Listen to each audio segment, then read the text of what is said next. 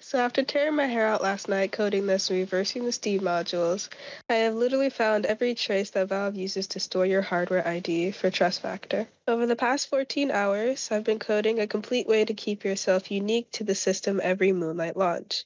You don't need to run the Steam batch file people pass around. I don't even think that works. People just say it does, and then they end up in red trust factor again on these new accounts because their hardware is flagged. It does the normal hardware ID change that Valve is known to store. Then you'll notice it will tell you it changed your MAC address for you.